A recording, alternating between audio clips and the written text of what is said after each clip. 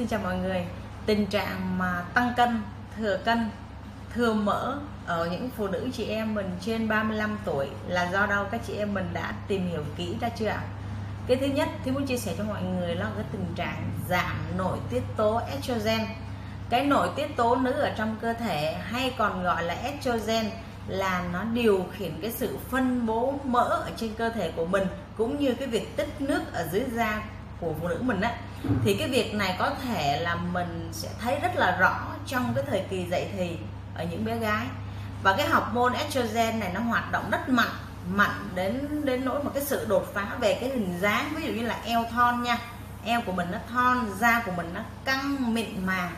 Thì ở những phụ nữ ở độ tuổi 35 trở lên á thì do rất là nhiều nguyên nhân ví dụ như là sinh nở nè à, bệnh ở bên trong cái buồng trứng hoặc là hay những cái yếu tố tự nhiên nên là cái lượng nội tiết tố nó trở nên suy giảm và dẫn đến cái tình trạng mà lượng mỡ nó bị tích tụ không đúng chỗ. Và thông thường nhất là vào cái cái eo mọi người cái eo nha và tay bắp tay nè bắp chân nha. Nên nhiều chị em mình cố thật sự là có cố gắng vận động á rất là nhiều. Nhưng mà à, rồi có giảm ăn giảm ăn cũng nhiều luôn phải không đâu và vẫn thấy được cái tình trạng thừa cân béo phì. Vậy thì tình trạng là do đâu? Mọi người à, muốn à, thi thi muốn chia sẻ cho mọi người để mọi người hiểu kỹ hơn. Và cái thói quen ăn uống của mọi người, bên cạnh cái lượng nội tiết estrogen của mình nó bị suy giảm nhá, thì nó sẽ kéo theo cái nhu cầu về cái năng lượng cần thiết cho cơ thể của mình nó kéo theo luôn. Và tuy nhiên, do cái nhu cầu ăn uống của mình nè, cái lượng mà năng lượng mình nạp vào trong cơ thể nó sẽ bị dư thừa và nó tích trữ, gây tăng cân. Thì ngoài cái việc mà chị em mình ít vận động nè, nghỉ ngơi quá nhiều, cũng như là những cái nguyên nhân mà gây tăng cân ở chị em phụ nữ mình sau 35 tuổi á, thì theo như cái nghiên cứu của các chuyên gia nha, thì quá trình mà tăng cân này nó sẽ bắt đầu ở cái thời kỳ mãn kinh từ 1 cho đến 2 năm, và mỡ nó sẽ không phân bố đều trên toàn bộ cơ thể của mình đâu và nó tập trung chủ yếu là ở cái vùng quanh của bụng mình á. Bắp đùi nè à, bắp tay bắp tay và vần mông.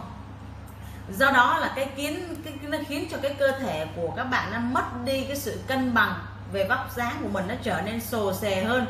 Thì cái vấn đề tăng cân là nguyên ờ, nói chung là là, là là nó có thể gây ra rất là nhiều vấn đề và rắc rối cho cái cơ thể của người phụ nữ mình.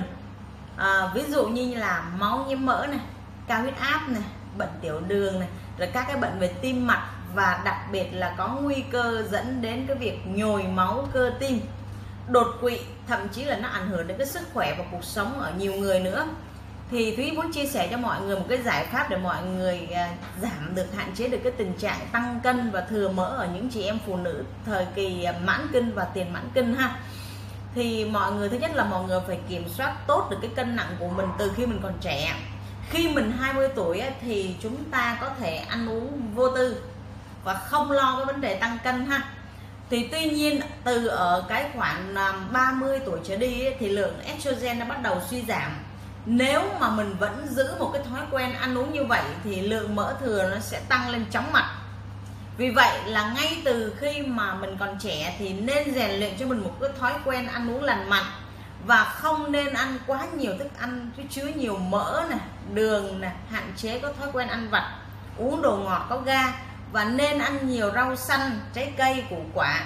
Và việc duy trì những cái thói quen đó từ sớm sẽ giúp cho chị em mình vượt qua được những cái biến động do xáo trộn ở cái nội tiết tố. Nó gây ờ, cho mình gây ra, nó gây ra những cái vấn đề mình không muốn, thực sự là viền toái luôn. Khi mình bước vào cái thời kỳ tiền mãn kinh, thì một trong những cái số mà cái số đó cái, cái, cái, cái biểu hiện cái tình trạng khủng khiếp của cái suy giảm nội tiết tố đó là cái cân nặng. Cái cân nặng của cơ thể chị em phụ nữ mình á, nó được kiểm soát tốt thì cái vấn đề nó sẽ ok hơn. Và việc của mình phải và cái điều quan trọng nữa là mọi người phải rèn luyện nha phải rèn luyện thân thể mỗi ngày. Theo thống kê của hiệp hội y tế thế giới ấy, thì những người mà ở thời trẻ mà ít vận động sẽ khó điều chỉnh được cái cân nặng của mình khi ở cái thời kỳ mãn kinh và đến một cái độ tuổi nào đó thì cái cân nặng của mình sẽ tăng lên rất là nhanh chóng.